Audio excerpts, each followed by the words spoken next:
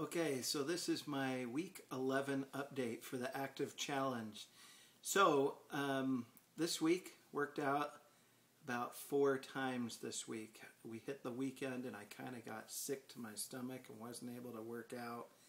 Um, so, uh, needed to work out a little bit more, but my weight was pretty good this week. I started this active challenge at 235 and right now I'm 226. So I've lost about nine pounds. I've got 11 more pounds to go and just a few weeks left.